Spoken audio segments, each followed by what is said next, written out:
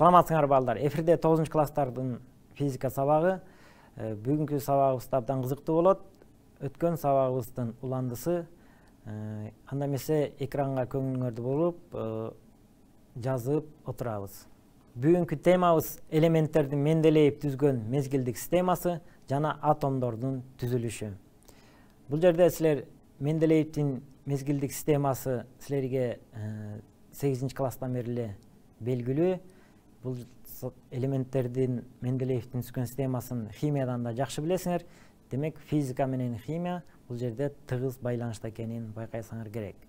Өткөн сабакта биз ошо атомдун качан пайда болгонун атом жөнүндө кандай маалыматтар келгенин силер билесиңер бул жерде эки миң беш жүз жыл илгери джозеф джон томас бир миң тогуз жүз он биринчи жылы демокрит бир миң тогуз жүз үчүнчү жылы эрнест резерфорд туш тушуна жазылганбы же орун алмаштырылып койгонбу эки миң беш жүз жыл илгери демокрит айткан э ал эми бир миң тогуз жүз он биринчи жылы томас өзүнүн атом бөлүнөрүн айткан анан бир миң тогуз жүз үчүнчү жылы эрнест резерфорд тажрыйба жүзүндө эмне кылды эле бир миң тогуз жүз үчүнчү жылы тажрыйба жүзүндө атом бөлүнөрүн ошондой эле өзүнүн планетардык моделин түзүп чыккан.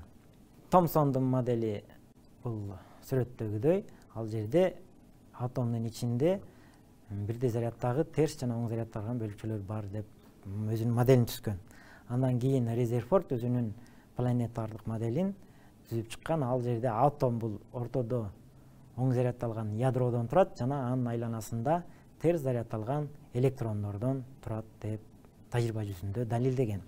Андан кийин э, бор өзүнүн постулаттарын киргизген биринчи постулаты бул атомдордо электрондор өзгөчө стационардык кванттык абалдарда жана гана болушу мүмкүн бул абалдардын ар бирине белгилүү энергия туура келет. Стационардык абалда атом нурланбайт деп бир постулатын киргизген.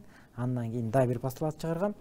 Э, бул жерде экинчи постулаты кандай айтылды эле. Атом бир стационардык абалдан экинчисине өтүүдө электромагниттик энергиянын квантын жутат же чыгарат деп айткан ошондой эле анын формуласы h ню барабар e минус en деп белгилегенбиз. Демек бир энергетикалык деңгээлден экинчи энергетикалык деңгээлге өткөндө ал сөзсүз түрдө квантын жутат же чыгарат деп тыянак келген. Ал эми бул болсо менделеевдин химиялык элементтердин мезгилдик таблицасы бул жерде азыркы убакта белгилүү бир жүз он элемент бар химиялык элемент бар белгилүү дагы табыла элек элементтер да болушу мүмкүн эң башында орустун окумуштуусу ушул таблицаны баарын табылган эмес бирок өзүнүн эмгеги менен ушундай таблицаны түзүп бош орундарды калтырып кеткен. Кийин ошол бош орундарга кийинки кылымдарда жыйырманчы кылымда көптөгөн элементтер табылып туура келген.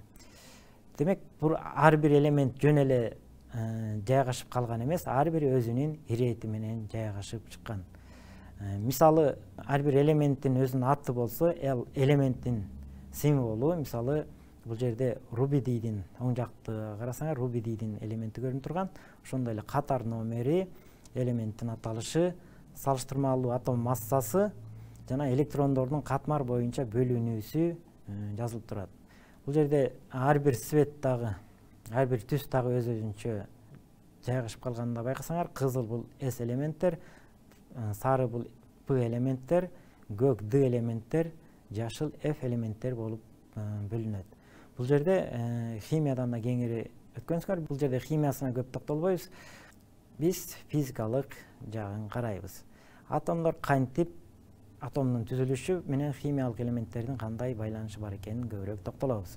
Менделеев бул э, орустун окумуштуусу бул бир миң сегиз жүз отуз төртүнчү бир миң тогуз жүз жетинчи жылдары жашап өткөн. Химиялык элемент деген эмне? Ошо атомдордун белгилүү бир түрү бул ошо химиялык элемент болуп эсептелет.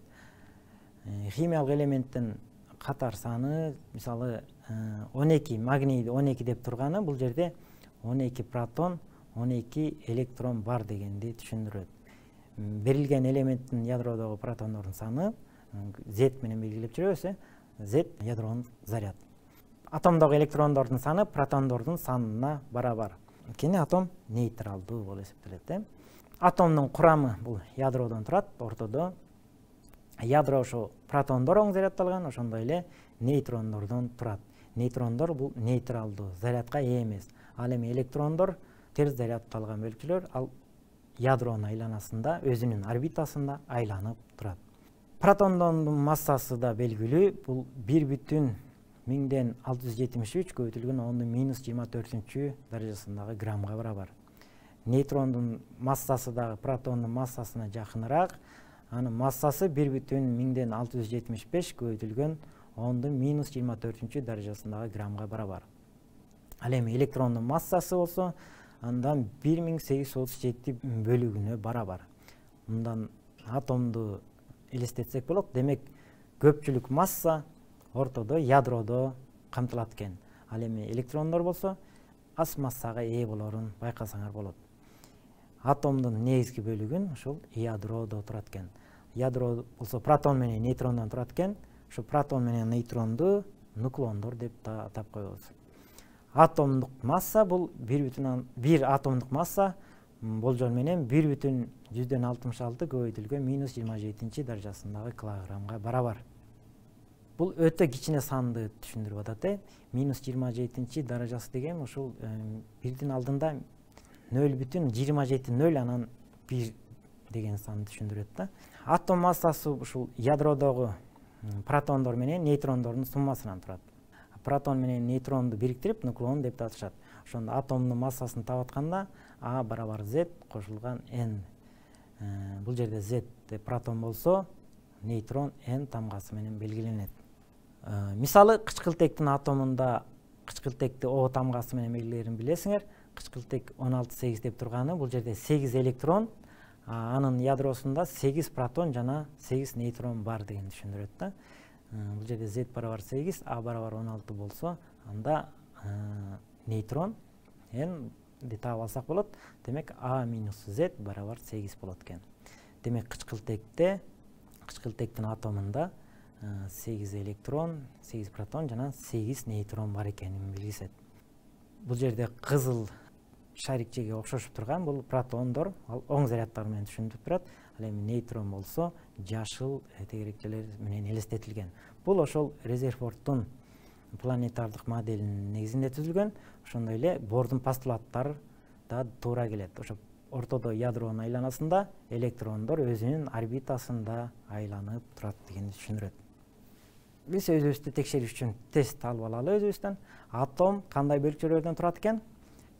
Бул жерде алты жооп турат. Алты жооптун кайсылары атомдон турат ооба протон электрон нейтрондордон турат экен атомдун ортосунда ошо протон нейтрондор же болбосо экөө биригип ядро болуп эсептелет же болбосо нуклондор деп аталат экен э анын айланасында электрондор деп аталат экен экинчиге жооп айтып көрөлү планетардык модель деп аталган атомдо эмнелер бар? Планетардык модель деп аталган атомдо оң зарядталган ядро жана анын айланасында айланып жүргөн электрондор бар. Атомдун заряды кандай болуп калат ошондо? Эгерде протондор оң зарядталган болсо электрондор терс зарядталган болсо нейтрон нейтралдуу болсо демек атом дагы атомдун заряды нейтралдуу болуп эсептелет. Эми бир маселени чыгарып көрөлү. Мисалы мындай маселе келип калды дейт. Алтын бул ошо менделеевдин мезгилдик системасында ау деп белгиси менен белгиленген жүз токсон жети жетимиш тогуз деп турат э? Ошо алтын элементинин ядросундагы протон менен нейтрондордун санын тапкыла деген маселе келди. Муну кандай чыгарабыз? Түшүндүрүүсүн айтып кетели. Ядронун химиялык формуласы az x түрүндө жазылат. Бул жерде мында x химиялык элементтин символу z протондун саны а массалык сан. Же болбосо ядродогу нуклондордун саны. Анда ядродогу нейтрондордун саны n кандай болуп калат? Формуласы боюнча n барабар a минус z болот. Ушул формула менен аныкталабыз. Демек бул жерде z протондун саны жетимиш тогуз деп турат э? Ошо ылдыйкы индекс көрсөтүп турган бул жетимиш тогуз деген сан эмненин саны экен? Бул протондордун саны экен. Демек анда нейтрондун санын табыш үчүн n барабар жүз токсон жети кемитүү жетимиш тогуз дейбиз. жүз токсон жетиден жетимиш тогузду кемитсек анда жүз он сегиз болот. Жообу демек жетимиш тогуз протон жүз он сегиз нейтрон бар экен. Демек алтында ушул канча элемент бар экенин нейтрондордун жана протондордун санын ушул менделеевдин мезгилдик системасындагы ушул көрсөтүлгөн белгилер менен эле анын канча нейтрон канча протон жана канча электрон бар экенин таап койсок болот экен э. Анда эмесе дагы ушул сыяктуу бир маселени чыгарып көрөлү. Бул жерде кандай дейт? Катар номери он бир массалык саны жыйырма үч болгон натрий элементинин ядросундагы протондор менен нейтрондордун санын эсептеп чыккыла деген маселе келип калды демек мындан дагы биз менделеевдин мезгилдик системасына карайбыз ал жерде натрий дегенди табабыз э натрий демек карасак натрийдин нейтрондордун саны жогорудагы формула сыяктуу н барабар а минус z формуласы менен таап коебуз демек элементтин катар номери протондордун санына туура келет z он бир э бул нейтронду жыйырма үч кемитүү он бир барабар он эки. Демек натрийдин жообу кандай болуп калат экен? Он бир протон жана он эки нейтрон бар экен. Эми маселелердин негизинде ооз эки деле чыгарып койсок болот экен. Анда эмесе кийинки тестке көңүл буралы. Бул жерде менделеевдин мезгилдик таблицасынын жардамы менен төмөндөгү берилген атомдордун курамын аныктагыла деген таблицаны турат бул жерде химиядан жакшы билесиңер.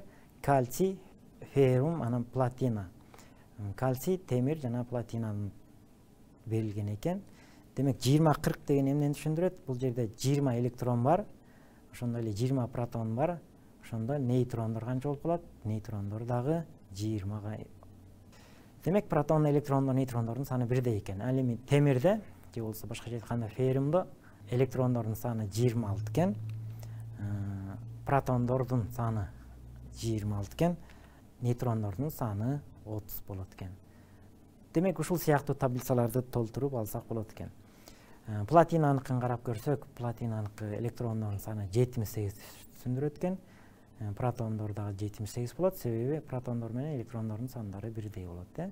Ал эми нейтрондордун саны жүз он жетиге барабар болот экен. Эми эле жогоруда айтып өткөнүмдү эсиңерде калды болду болду экен.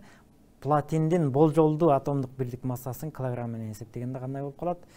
Бул жерде төрт жооп турат төрт жоопту жанагы бир атомдук бирдик масса канча барабар эле? Бир бүтүн жүздөн алтымыш алты көбөйтүлгөн минус жыйырма жетинчи даражасындагы граммга барабар болчу. Ошондо бул жерде туура жообу жүз токсон беш атом бирдик массасы барабар үч бүтүн эки жүз отуз жети көбөйтүлгөн ондун минус жыйырма бешинчи даражасындагы килограммга барабар экен.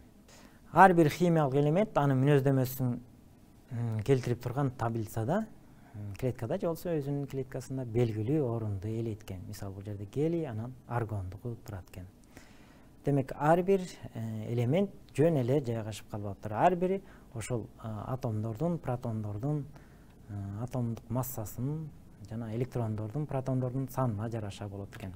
Э, мисалы дагы химиялык элементтердин атомдун курамдарына бул эмне? Суутек суутекте бул эмнени түшүндүрөт бир бир деп жазылып турганы бул жерде бир протон жана бир электрон бар дегенди түшүндүрөт алюминийди карап көрсөк бул жерде он үч жыйырма жети деген белги эмненин белгиси экен он үч протон жана он төрт нейтрон анан он үч электрон бар дегенди түшүндүрөт бул жерде кычкылтекти жана жогоруда айтып өткөндөй кычкылтекте сегиз протон сегиз нейтрон ошондой эле сегиз электрон бар экен бул жерде он беш протон он алты нейтрон жана он беш электрон бар экен бул фосфордук экен э ошондой эле натрийдикин карасак натрийдикиде э, он бир протон он эки нейтрон жана он бир электрон бар дегенди түшүндүрөт экен ушул сыяктуу баардык ошол жүз он элементти э, химиялык менделеевдин мезгилдик системасынан ушинтип канча протон канча нейтрон экенин ушу таблицадан карап эсептеп чыгарып алсак болот экен мезгилдер ошо элементтердин мезгилге бөлүнүшү атомдордо электрондор канча орбитада жайлашкандыгына байланыштуу болот демек мезгилдин номери электрондор жайгашкан энергетикалык деңгээлдерин көрсөтөт мезгилдер кичине жана чоң болуп эки группага бөлүп карасак болот экен ошондой эле мезгилде ушул группаларга бөлүп карайт экенбиз же болбосо топторго э элементтердин группага алардын атомдордун сырткы орбиталарында жайланышкан электрондордун саны менен туура келет. Группанын номери атомдогу электрондордун валенттүүлүгүнүн санын көрсөтөт. Мисалы кычкылтек сегиз деп турганда ошо биринчи орбитасында эки электрон болсо экинчи орбитасында алты электрон айланып жүргөн дегенди түшүндүрөт экен. Күкүрттүкүн карасак отуз эки деп турат. Биринчи орбитасында бул жерде үч энергетикалык деңгээл бар экен э эки электрон айланып жүрсө экинчи энергетикалык деңгээлинде сегиз электрон үчүнчү энергетикалык деңгээлинде алты электрон айланып турат дегенди билгизет экен группа ошол дагы биз группага бөлүп караганда негизги группа анан тараптагы группа деп дагы бөлүп карайт экенбиз же болбосо топторго бөлүп караганда ошондой элементтин топтору ошо таблицада көрүп тургандай көрсөтүлөт экен демек менделеев абдан бизге ыңгайлуу кылып түзүп берген экен э мисалы бул жерде таблицанын стандарттуу түрдө берилиши бул таблицада мезгилдер бир гана сапта жайгашкан бул жерде узун формасы. Ал эми таблицанын чоң мезгилдерди эки сапка бөлүнүп берилиши жана химиялык элементтердин ордундарына кичине алмашкандай сымал кыска формасы. Таблицада көрүнүп тургандай атайын бөлүктөр менен турат булардын экөө тең туура болгону ылдыйкы таблицада түшүнүүгө оңой болуусу үчүн чоң мезгилдер эки сапка бөлүнгөн бирок экинчи сап биринчи саптын уландысы андан тышкары ар бир элементте кошумча сандар латынча жана кириллица жазуусунда аталыштары жазылган.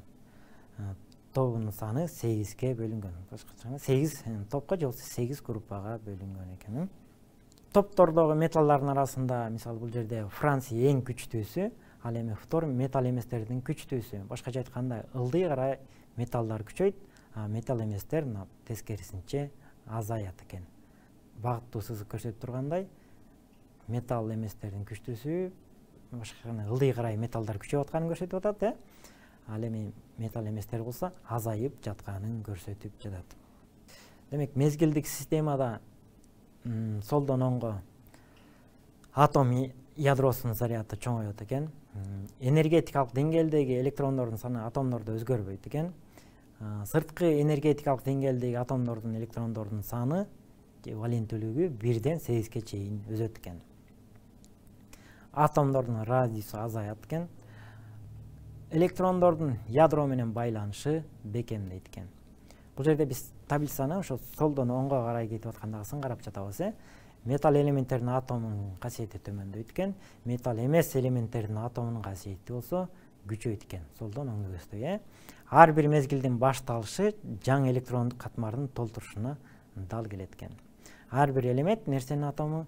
Металл менен башталса атомдорду газга айланган нерсе менен аяктайт экен. Дагы бир өзүбүзгө тест жүргүзүп алалы. Азот атомунун ядросунун заряды канчага барабар дейт. Бул жерде жети он үч төрт жыйырма алты бул таблицаны карайбыз. Таблицага азотто караганда азот жетинчиде тургандыктан карасаңар н тамгасы менен байкадыңарбы? Демек бул жерде биринчи жооп а туура экен. Криптон атомунун ядросунда протондун саны канчага барабар дейт. Таблицадан карайбыз криптон кай жерде турат? Бул жерде криптон сары сегизинчи группада турат отуз алтынчы катар санында. Демек бул жерде отуз алтыга барабар экен протондордун саны отуз алтыга барабар экен. Ал эми цинк атомунун ядросуна нейтрондордун саны канчага барабар? Таблицадан карайбыз цинкти карасак көк д элементине кирет экен цинк отуз бул жерде биз нейтронду карайбыз нейтрон алтымыш беш болсо демек отузунчу катар санда турса алтымыш бештен отуз бешти кемирсек отуз бешке барабар болот экен э демек б жообу туура болот экен төртүнчү суроого темирдин атомунда канча электрон бар темирди карайбыз э темирде канча электрон бар ошону карап чыгат экенбиз темир деген англисче кандай жазылчу ферум менен жазылат бул жерде жыйырма алтынчы катар номерде сегизинчи группада экен бул д элементине кирет экен темирди карасак демек жообу элүү алтыга барабар болот экен элүү алты электрон бар дегенди түшүндүрөт экен э бул менделеевдин химиялык элементтердин мезгилдик таблицасы химияда кандай чоң роль ойносо ушу физикада атомдук физикасында ошондой чоң роль ойнойт мезгилдик системасы. Бул биздин эсептерге маселелер чыгарууда абдан чоң дайыма керек болот демек бул таблица силердин жаныңарда дайыма болушу керек. Ушу менен бүгүнкү сабагыбыз аяктады эмки сабакка чейин сак саламатта тургула